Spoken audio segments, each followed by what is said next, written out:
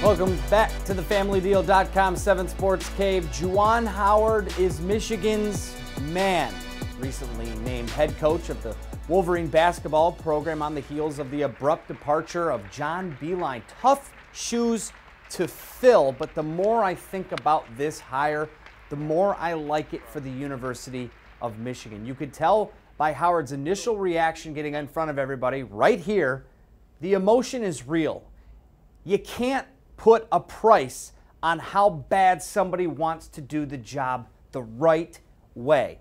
Juwan Howard is going to come in and do the job the right way. Yes, he's got a huge learning curve. He's got to learn the rules. He's got to learn the recruiting. He's got to do the do's and the don'ts of the college basketball world.